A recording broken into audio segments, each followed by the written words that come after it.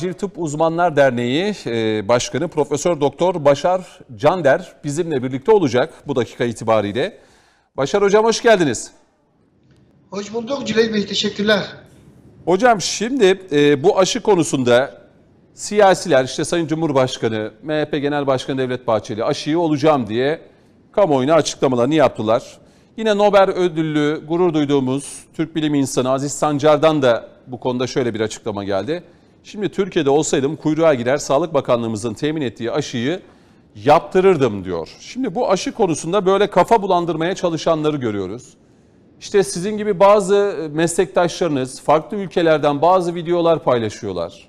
İşte orada işte şöyle olacak, böyle olacak, işte insan ırkını azaltacaklar, kısırlaştıracaklar, zamanla işte sizi öldürecekler diye. Böyle tuhaf tuhaf paylaşımlar ortaya çıkıyor. Ee, bu konuda neler söylersiniz hocam? Bir, bir yıla yakın bir süredir çok olağanüstü bir hal yaşıyoruz ve günde 200 kişi vefat ediyor. Türkiye için söylüyorum. Dünya çapında çok ciddi rakamlara ulaştı vefat edenlerin sayısı. Böyle olağanüstü bir halde bize en çok koruyucu sağlayacak tedbirlerden birisi de aşı.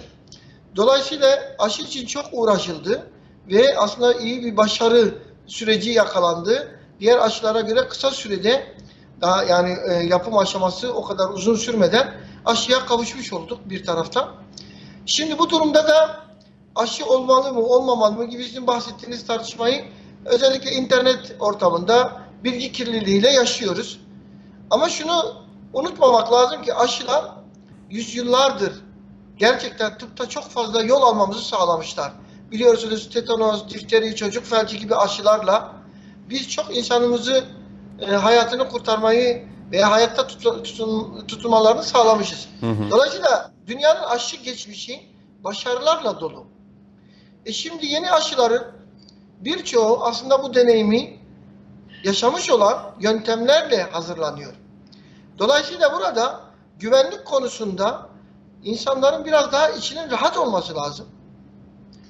Etkinlik konusu tartışılabilir. Onun da çalışmaları yapılıyor ve etkinlik rakamları çok yüksek çıkıyor. Dolayısıyla etkinliğinin de güçlü olacağını düşünüyoruz. E Hocam peki bu kafa durumda- bulandıranlar yani böyle Evet. bir düşüncede olanlar isteseydi daha önce yıllarca işte aşılar üretildi.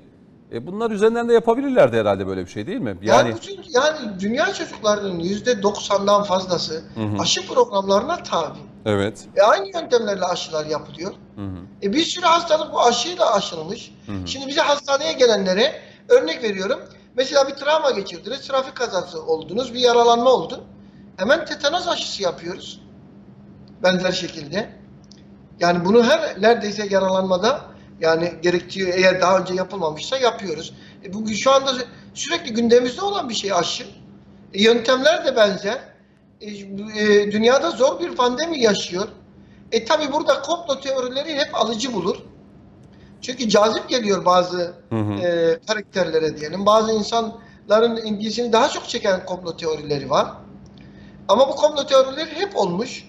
Dolayısıyla burada e, şu bilim adamlarına, bakanlığa, medyaya düşen bu konuda bilimsel verileri şeffaf bir şekilde paylaşarak insanlara ikna etmek. Hepimize düşen görev bu. Evet. E biz de bu şekilde sizin vasıtanızla bildiriyoruz.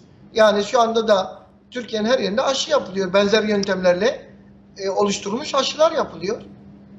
Onları da ya, Doğru. sonuçta. Şimdi Çin aşısı konusunda böyle bir e, yani Almanla Amerika'nın yaptığının e, sanki çok daha iyi olduğu, Çin aşısına ise güven konusunda yine böyle soru işaretleri var kamuoyunda. E, yani bu bulanıklığı ortaya çıkaranlar var hocam. E,